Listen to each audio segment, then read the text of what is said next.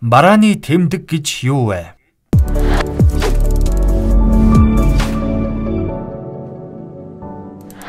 Барааны тэмдэг газар зүйн заалтын тухай хуульд үйлдвэрлэл үйлчилгээ эрхэлдэг иргэн хуулийн этгээд өөрийн бараа үйлчилгээг бусдын бараа үйлчилгээнээс ялгах зорилгоор хэрэгэлдэг ялгаглах чадвартай илэрхийлэл гэж тодорхойлсон байна. Энгийнээр хэлбэл таны бүтээсэн бараа үйлчилгээг хэрэглэгчид өрсөлдөгч бүтээгдэхүүн үйлчилгээнээс ялгах содон байлгах боломжтой бүтээгдэхүүн үйлчилгээний гадна талд нүүр царай болдог харагддаг онцгой эрхтэй илэрхийлэл гэж хэлж болох юм. Барааны тэмдгийн тухайн компанийг бусад компаниас ялган таних боломжийг олгодгороо компани брэнд болон маркетингийн хэдийн бодлогод чухал үүрэг гүйцэтгэдэг. Мөн бүтээгдэхүүн үйлчилгээний нэр хүнд дүр төрхийг тодорхойлдог. Барааны тэмдэгтэй байснаар үүсэх боломжууд Хэрэглэгчид танай бараа бүтээгдэхүүнийг ялгах баталгаа болно. Арилжааны хэрэгсэл болж брендийн дүр төрх нэр хүндийг бий болгох үндэс болно. Лицензээр ашиглуулж болох бөгөөд шимтгэл төлбөр авснаар орлогын шууд их үүсвэрийг бий болгоно. Франчайзинг гэрээний гол нөхцөл болно. Таны бизнесийн үнэлшгүй хөрөнгө болно. Бүтээгдэхүүн үйлчилгээнийхээ чанарыг сайжруулах зорилгоор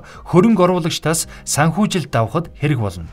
Үйлчилгээний тэмдэг, барааны тэмдгийг илэрхийлэх хэлбэр. Үг, үсэг, дүрс, тоо, өнгө, дуу аваа, үнэр, Гурван хэмжээс дүрс, хосолсон байдал, барааны тэмдгийн төрөл, үйлчилгээний тэмдэг, хамтын тэмдэг, гэрчлэх тэмдэг, нийтэд түгээмэл болсон тэмдэг, үйлчилгээний тэмдэг.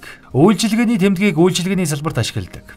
Банк, санхүү, аялал жуулчил, зар сурталчилгаа, зоогийн газар чиглэлээр үйл ажиллагаагаа явуулдаг компаниуд барааны тэмдэг буюу үйлчилгээний тэмдгийг хэрэглэнэ. Хамтын тэмдэг Хамтын тэмдгийг зөвхөн үйлдвэрлэл үйлчилгээ эрхлэгчдийн нэгдэл холбооны гишүүд ашиглана. Тэдгээр нэгдэл холбооны гишүүд хамтын тэмдгийг өөрийн бүтээгдэхүүндээ ашиглаж зах зээлд гаргах боломжтой ба энэ нь нэг ёсны зах зээлд өөрийн бараа бүтээгдэхүүнийг таниулахын тулд ашигладаг арга юм. Гэрчлэх тэмдэг Харин гэрчлэг тэмдгийг тухайн бүтээгдэхүүн үйлчилгээний чанар үйлдвэрлэх арга бусад онцлог шин чанарыг тэмдэг эзэмшигч гэрчлэн бусад хуулийн этгээдүүдэд ашиглуулдаг. Хамтын тэмдэг нь зөвхөн нэгдэл холбооны гишүүд ашигладаг бол гэрчлэг тэмдгийн ялгадах онцлог нь шалгуур стандартыг хангасан хэнч хэрэгжилж болдог юм. Нийтэд түгээмэл болсон тэмдэг Нээдэд түгээмэл болсон тэмдэг гэдэг тухайн салбартаа эсвэл хэрэглэгчид болон бусад салбарт бүтээгдэхүүн үйлдвэрлэгчдэд аль хэдийн танил болсон тэмдгийг хэлнэ.